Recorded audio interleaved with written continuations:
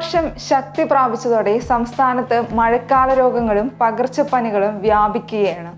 ഡെങ്കിപ്പനി എലിപ്പനി H one N one തുടങ്ങിയവ ബാധിച്ച് നിരവധി പേരാണ് ആശുപത്രിയിൽ ചികിത്സയിൽ കഴിയുന്നത്.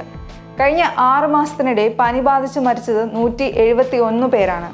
ഇതിൽ ഏറ്റവും കൂടുതൽ പേരുടെ മരണത്തിലേക്ക് നയിച്ചത് എലിപ്പനിയും ഡെങ്കിപ്പനിയും എച്ച് വൺ എൻ വൺ പനിയുമാണ്. ജൂൺ മാസം മാത്രം ആശുപത്രിയിൽ ചികിത്സ തേടിയ രോഗികളുടെ എണ്ണം രണ്ടര ലക്ഷം കവിഞ്ഞു. പകർച്ചപ്പനിക്കെതിരെ കോവിഡിന് സമാനമായ ജാഗ്രത വേണമെന്നാണ് ആരോഗ്യ വിദഗ്ധർ നൽകുന്ന നിർദ്ദേശം.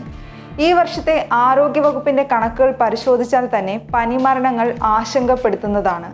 എലിപ്പനി ബാധിച്ച് ഇതുവരെ എഴുപത്തിയഞ്ച് പേരാണ് സംസ്ഥാനത്ത് മരിച്ചിരിക്കുന്നത്. ഇതിൽ ഇരുപത്തി ഒൻപത് പേരുടെ മരണം ഔദ്യോഗികമായി സ്ഥിരീകരിച്ചു. ഡെങ്കിപ്പനിയുടെ കാര്യത്തിൽ ആകെ മരണം നാൽപ്പത്തിനാലാണ്. അന്തിമ ഫലം പുറത്തു വരാനുള്ളത് മുപ്പത്തിമൂന്ന് പേരുടേതാണ്. ഇരുപത്തിമൂന്ന് എച്ച് വൺ എൻ വൺ മരണങ്ങൾ സ്ഥിരീകരിച്ചപ്പോൾ ഒൻപതെണ്ണം ഫലം വരാനുണ്ട്. ഇതിനു പുറമെ ചെള്ളുപനി മലമ്പനി സിക്ക വൈറസ് എന്നിവയും സംസ്ഥാനത്ത് വ്യാപകമാകുന്നുണ്ട്.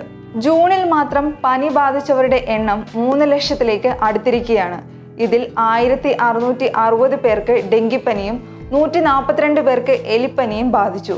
പ്രതിദിന രോഗികൾ തുടർച്ചയായി പന്ത്രണ്ടായിരത്തിന് മുകളിലാണ് സംസ്ഥാനത്തുള്ളത്. ഈ മാസം ആറു പേർ ഡെങ്കിപ്പനി ബാധിച്ചും അഞ്ച് പേർ എലിപ്പനി ബാധിച്ചും മരിച്ചു. എച്ച് വൺ എൻ വൺ ബാധിച്ച് മരിക്കുന്നവരിൽ കൂടുതലും കുട്ടികളാണ്. കഴിഞ്ഞ വർഷങ്ങളെക്കാൾ മരണനിരക്ക് ഉയർന്ന അവസ്ഥയാണുള്ളത്.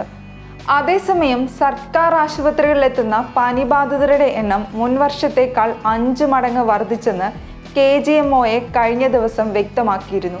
ഈ സാഹചര്യത്തിൽ കൂടുതൽ ഡോക്ടർമാരെയും പാരാമെഡിക്കൽ വിഭാഗങ്ങളിൽ ജീവനക്കാരെയും താൽക്കാലികാടിസ്ഥാനത്തിൽ നിയമിക്കണമെന്നും കെ ജി എം സർക്കാരിനോട് ആവശ്യപ്പെട്ടിരുന്നു.